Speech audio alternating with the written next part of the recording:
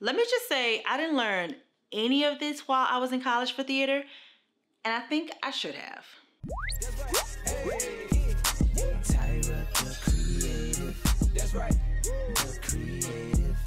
What is up everybody? It's your girl Tyra and welcome back to my YouTube channel. If you are new here, welcome. I am so glad to have you. Here on this channel, I create resources for black creatives who want to escape fear and share their creativity with the world without compromising their faith in God, their integrity, their uniqueness, and without breaking the bank. So I have a question for you. What did you learn in school if you went to school for acting that has stuck with you? If your schooling was anything like mine, then you probably learned acting technique, maybe took a script analysis class, or even learned a few dialects here or there, with a huge chunk of your studies being theater history. But the thing that I wish I'd learned during my years in college were common terms used in the industry. Today we're going to dive into some of those vocabulary words that will be great to know as you enter the real world as an actor who wants to cultivate a career in TV and film. Let's get right into it. The first word is sides. So sides Sides are pages from a script that are used for an audition or to shoot the project with. So you may hear this term used, refer to the sides for your audition. SAG-E. Now this simply means you are SAG eligible. You are eligible to join the SAG-AFTRA union. How do you achieve SAG-E status? Well, there are a few ways that you can, but the way I'd like to highlight is by obtaining vouchers for working as an actor.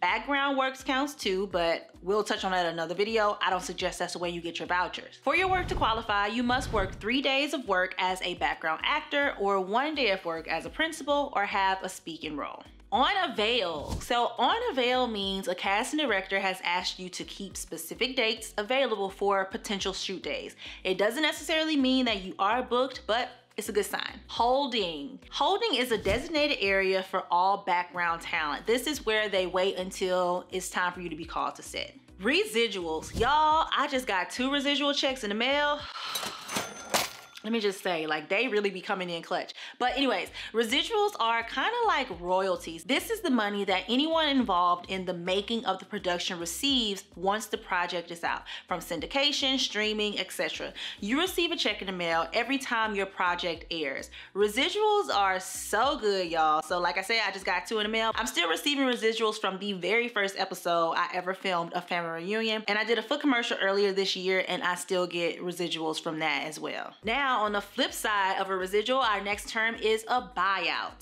A buyout is a lump sum of money or a flat fee paid to actors for a project. These are given in lieu of residuals. So you would typically receive a buyout on a low budget project or non-union commercials. And these payments are typically less than what you receive would receive if you were getting residuals. So I received a buyout for the Daisy Sour Cream commercial I did. As I think about it, because I was still new, I wish that my agent would have fought for a session fee and residual pay. But sometimes they just ain't got it in the budget, especially if it is a non-union commercial or show or a ultra low budget show. Which leads me to my next term, agent. There are different types of agents out there, but the simplest way to put it is your talent agent submits you to castings. You can have agents that represent you in different markets, like a commercial agent, print agent, voiceover agent, modeling agent, etc. But their main job is to get you booked and busy. So typically they take between 10 to 20% of your acting earnings. That'll be in your contract whenever you go to sign with them, or you can ask them beforehand if you're shopping around. Now, I do have some agent horror stories that I would honestly love to share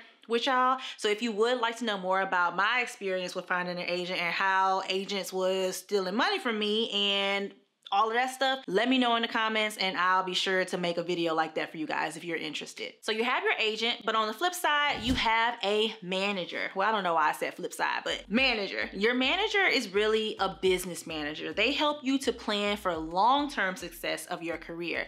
They may also submit you to castings, but it probably won't be as frequently or as high yield as an agent, but they are in it for the long haul. They typically take 10 to 15% of any earnings you make as an actor actor. Next up is union. So union refers to a type of labor union that represents the interest of actors working in the film, TV, and theater industries. The most well-known one that you probably heard of is SAG-AFTRA, which stands for Screen Actors Guild, American Federation of Television and Radio Artists, that's so long. But there are other ones like Actors Equity Association, which is AEA for live theater. So these unions were created specifically to protect us, you guys. They have implemented regulations regarding pay scales because they used to be tripping in the past, royalties, and created contracts designed to best serve member performers. And you pay a membership fee to be a part of these organizations. And if I do this video about my agent horror stories, I'll let you know why being a part of a union is so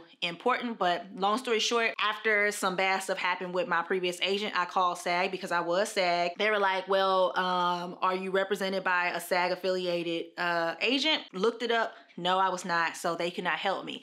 So, long story short, unions are great to be a part of. There are pros and cons to everything in life, but if you would like a video on diving deeper into that, let me know that in the comments as well. Non-union. So, non-union includes every production that is not produced under a union contract, which means there can be no established rules to follow. It could be a good thing, could be a bad thing. It depends on the project. But these types of projects are easier for non-union actors, which are actors who have not yet joined SAG or another the union to book. Recurring role. So a recurring role is a role that recurs in more than one episode of a show, but is hired on a per episode basis rather than being hired as a series regular role. So for example, my role on the hit Netflix TV show Family Reunion was a recurring role. I played young Amelia, who is a younger version of the one and only Miss Loretta Devine. Day player. So a day player is an actor who is hired on a daily basis versus a long-term contract basis. Or for example, if you were to work on a network show for one day with a speaking role,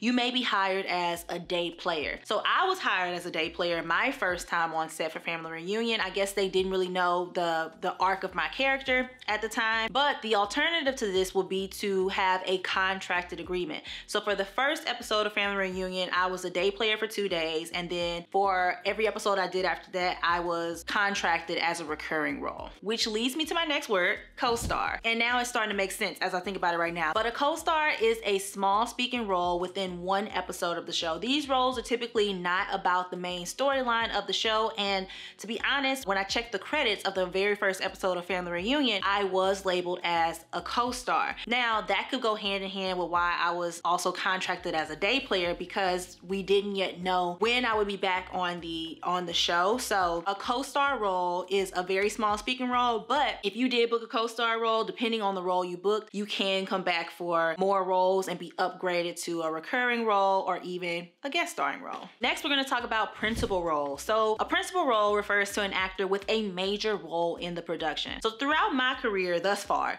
I have mainly heard this term used in commercial acting because I was a principal in the Daisy Sour Cream commercial that I booked back in 2020. And I was also a principal for a NutriBullet print shoot that I booked in 2019. Next up is stand-in. Y'all, I was just a stand-in yesterday for a short film um, for one of my friends. We were on family reunion together. It was so great. But a stand-in is exactly as it sounds. This is a role that does not make it to TV or on the screen. A stand-in is a background actor or extra who literally stands in for the principal actor, whether it's for technical purposes or blocking. So if they're trying to set up the shot or if they're trying to figure out what the movement will be we'll use a stand-in instead of using the actual actor because honestly, the blocking and setting up the shot can take forever, to be honest. But being a stand-in is not horrible. They're actually very, very, very important. Next up, we have SAG day rate. The SAG day rate is the daily rate set by the Screen Actors Guild.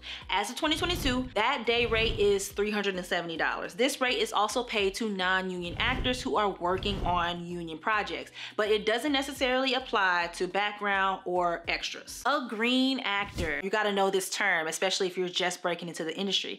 But a green actor is an actor who has very little to no industry experience, a freshman if you will. So if you hear someone say you're green or you're green behind the ears, this is all that they mean. Next up, we have open call.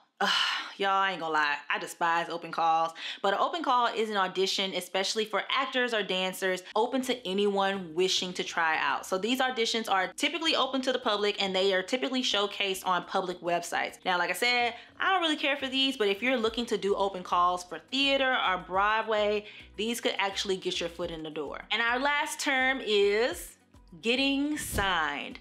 These are the words that we love to hear, y'all. So this means you now have a person or a group of people, your talent agent or your agency working with you to get auditions. You are now represented by this person or people and they are able to submit you for auditions, pitch you for roles, follow up on submissions and auditions, negotiate better pay and better contracts and renegotiate your existing contracts that you may have. Getting signed is a huge goal for every new actor. Now, I know a lot of you guys are very new to the acting world, or maybe you just recently graduated from college and are starting out in this career field, and I have a surprise for you. So, oh my God, I have written my first book, y'all the Little Black Book for Theater Majors. And I have started a waitlist for those of you who are interested. This book is filled with the acting terminology, like these terms we just went through in this video. They were pulled straight from the book, but there is so much more where that came from. I just wanted to create a resource that I wish I would have had when I was graduating from college. It would have made my life so much easier to have something like this. And I dove into the real world as a green actor and I just, I did it on a wing and a prayer. So if you are interested in receiving an alert when the book goes live, click the link down below to join the waitlist. You do not have to pay to sign up to be a part of the waitlist, but anyone who does join the waitlist will receive a special discount when my book goes live. Y'all, I got a book. I can't believe I have a book. Okay, we'll talk more about it later, but if you're not already subscribed to the channel, please hit that big red subscribe button down below and make sure your notifications are on, y'all. I have, first of all, most of y'all who watch my videos are not subscribed. Please subscribe because that helps me out so, so much. Like 90% of my audience is not subscribed. But anyway, subscribe, hit the notification bell so you can get all of the alerts anytime I post any new acting videos. And thank y'all so much for watching and I'll see you in the next one.